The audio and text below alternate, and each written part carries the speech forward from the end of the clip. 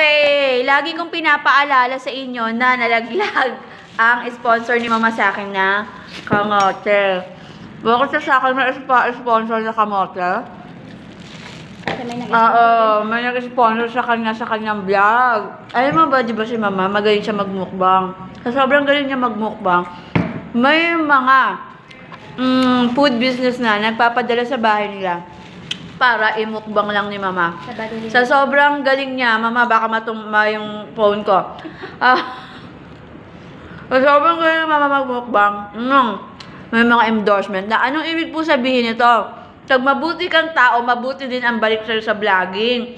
Kaya yung mga unfollowera na feeling famous na kung mga ate, kuya, magbago kayo. Hindi kayo tatagal kapag kabad kayo ah. Kaya yun ngayon, may mga matatalino na pala, no? Na mga vlogger, content creator din, na madaling madetect kung sino yung mga nag-unfollow. Kayong mga bad kayo, malapit na kayo. Mm-mm. Oh, ulit natin. Kapag mabuti kang vlogger, mabuti din ang balik. Oh, may endorsement. May biyaya. Ha?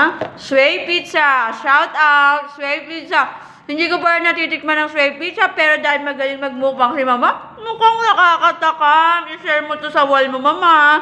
Nagpaparinig ako sa Sway Pizza. Saan matatagpuan ang Sway Pizza, Mama? Santa Maria Das Marinas. Santa Maria, Das Mariña, Cavite. Cavite.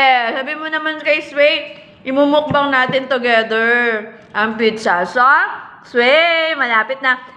Thank you, Mama, for sponsoring my merienda. Inuulit namin, spread the positivity.